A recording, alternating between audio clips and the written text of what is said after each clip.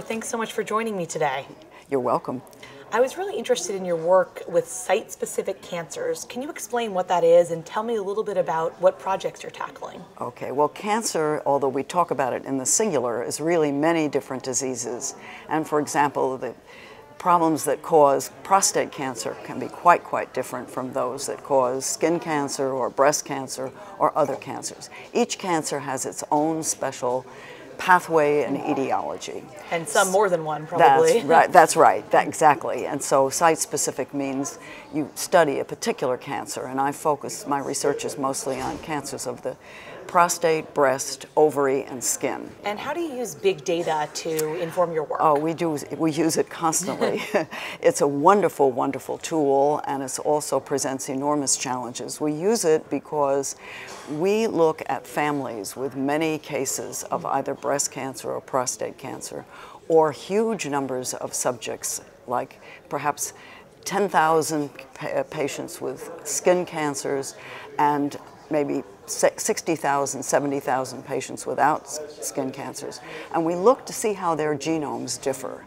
And so the, examining their genomes in today's world can require looking at something like 9 million different markers wow. on the chromosomes. And how long we, does that take to look at that many yeah, markers? That's right. It takes quite a while, but imagine. we have high-speed computing that allows us to do that. But the real challenge comes in, in how to interpret these variants that we find. So for example, if we find two men who are first cousins and they share the same rare marker on one of their chromosomes, we need to know whether that's by chance or whether in fact this is really a damaging pathogenic uh, change that they and, and we have 9 million of those to deal with. And so we need to figure out ways to prioritize these variants that we're finding. And one way that we can do that is to use big data, to use online programs that combine biophysical considerations, evolutionary considerations, all different considerations about these variants to say, these guys look like they're, they're potentially quite bad. They could be pathogenic.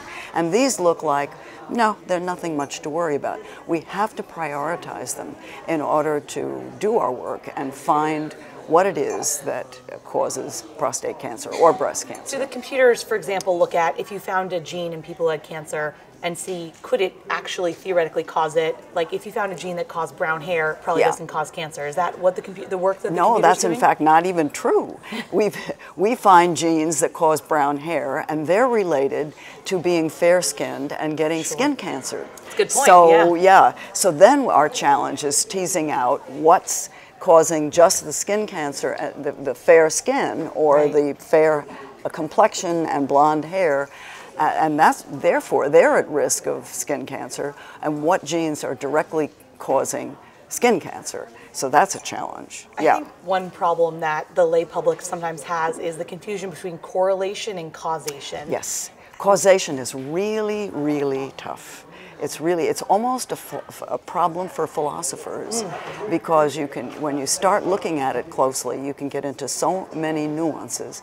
You can have many different causes, many different factors have to happen together to make a disease occur. And if you remove any one of them, then the disease won't occur.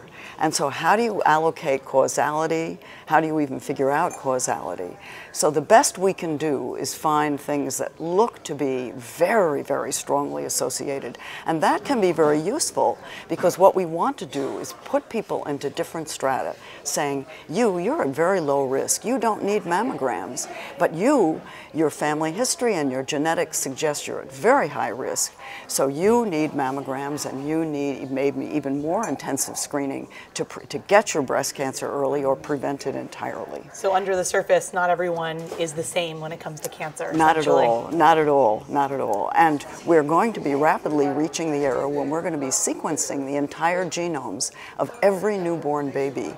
Wow. We have to learn how to cope with that information and use it for the betterhood of people's health and longevity. That would be so wonderful. Yeah. Dr. Whittemore, thank you so much for joining me today. Yeah, it's a pleasure.